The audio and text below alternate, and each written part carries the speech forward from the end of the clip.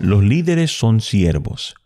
La Biblia nos dice en Hebreos 13, 17, Obedecer a vuestros pastores y sujetaos a ellos, porque ellos velan por vuestras almas, como quienes han de dar cuenta, para que lo hagan con alegría, y no quejándose, porque esto no os es provechoso.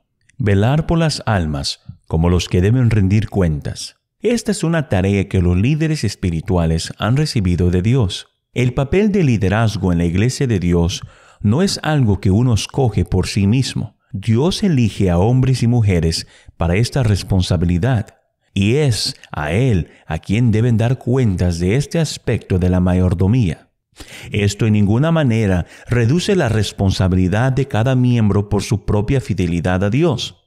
El apóstol Pablo escribió en Romanos 14, versículo 10 al 12 lo siguiente, Pero tú, ¿Por qué juzgas a tu hermano? O tú también, ¿por qué menosprecias a tu hermano? ¿Por qué todos compareceremos ante el tribunal de Cristo? Porque escrito está, vivo yo, dice el Señor, que ante mí se doblará toda rodilla, y toda lengua confesará a Dios, de manera que cada uno de nosotros dará a Dios cuenta de sí. A algunos se les ha dado una responsabilidad más pesada, la de facilitar liderazgo espiritual a otros confiados a su cuidado. Jesús comparó a sus seguidores con ovejas que necesitarían ser pastoreadas. Habló del asalariado que no se sentiría responsable del bienestar de las ovejas y que permitiría que los lobos invadieran el rebaño y esparcieran a las ovejas. El apóstol Pedro, que siguió de cerca al Maestro y escuchó sus palabras, más adelante en su epístola dio el siguiente consejo a los líderes de la iglesia. En 1 de Pedro, capítulo 5, versículos 2 y 3. Apacentad la grey de Dios que está entre vosotros, cuidando de ella, no por fuerza, sino voluntariamente, no por ganancia deshonesta, sino con ánimo pronto no como teniendo señoreo sobre los que están a vuestro cuidado, sino siendo ejemplos de la grey. Este encargo que dio entonces es oportuno para quienes tienen la supervisión de las almas hoy. Las ovejas de Dios necesitan ser alimentadas, y un líder que obtenga la aprobación del pastor de pastores será uno que posee el corazón de pastor. Un verdadero pastor dará su vida por las ovejas confiadas a su cuidado. Un líder espiritual nunca se preocupará de cuánto puede hacer la gente por él, sino cuánto puede hacer él por su pueblo. El apóstol Pedro advirtió contra el espíritu de querer ser dueño sobre los demás. Simplemente no hay lugar para esto en el liderazgo espiritual. Señaló la clave para tener éxito en el liderazgo de guiar al pueblo, siendo un ejemplo para el rebaño. No hay duda del poder y la virtud de los ejemplos, de los modelos, para llevar a las personas a mayores alturas espirituales. Ser líder implica mucho más que decirle a la gente el camino correcto a seguir. Hay que llevarlos ahí y el líder sigue adelante marcando el camino. Cuando una persona acepta una nueva iglesia para pastorear, debe aceptar a los miembros tal como son.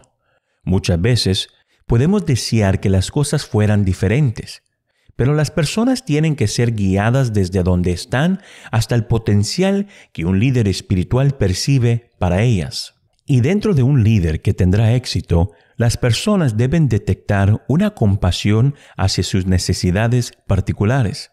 Las personas no son objetos para manipular, tienen sentimientos que respetar, la compasión y la preocupación que un pastor muestra hacia su rebaño determinarán en gran medida el éxito de su liderazgo. El liderazgo espiritual exige una persona que sea emocionalmente madura. Las personas inmaduras e inseguras que quieren ser ellas mismas el objetivo de atención y que insisten en que el interés y la preocupación de la gente sea solamente hacia ellos no tienen nada que hacer en las filas del liderazgo. Vivir la vida de un líder es vivir una vida de siervo.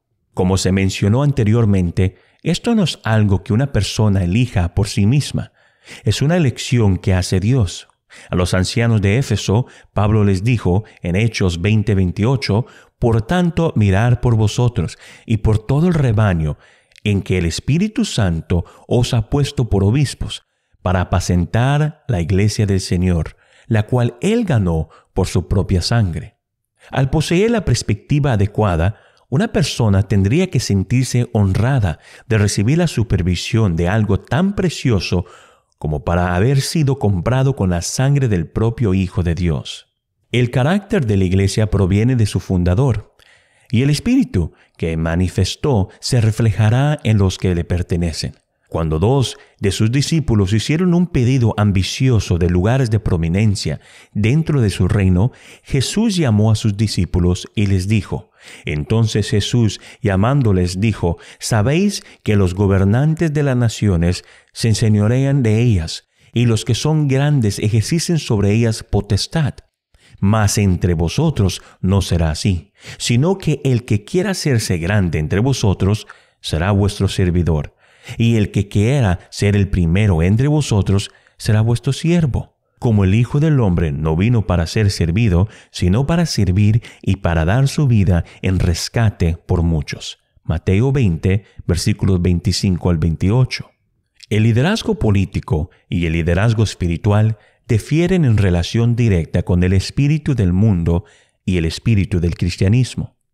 Aquellos que quieren lidiar en la iglesia de Dios deben asegurarse de que no estén siendo influenciados por el estilo de liderazgo que se practica en el mundo. Si poseemos el espíritu de nuestro fundador, no lo seremos. Su manera de dirigir era tan diferente de cualquier cosa a la que este mundo estaba acostumbrado. Sin embargo, ¿quién puede dudar de su éxito dos mil años después? No pidió a sus discípulos que le lavaran los pies, él lavó los de ellos. Y al hacerlo, dio el ejemplo a aquellos que serían líderes dentro de su iglesia. El papel de un siervo. Esta es la raíz del liderazgo cristiano. Dar en lugar de recibir. Una parte del mensaje de Pablo a los ancianos de Éfeso, a quienes Pablo había encargado de alimentar a la iglesia de Dios, fue, ni plata ni oro, ni vestido, ni nada he codiciado. Antes vosotros sabéis que para lo que me ha sido necesario a mí y a los que están conmigo, estas manos me han servido. En todo os he enseñado que trabajando así se debe ayudar a los necesitados y recordar las palabras del Señor Jesús que dijo, más bienaventurado es dar que recibir. Hechos 20, versículo 33 al 35. Sí, es un gran honor ser elegido por Dios como líder dentro de su iglesia. Al mismo tiempo, es una gran responsabilidad. No se trata de objetivos temporales, sino de almas eternas. Con gratitud a Dios por haber sido elegidos para nuestros papeles particulares de liderazgo. Trabajemos cada día en el temor de Dios como los que deben dar cuentas.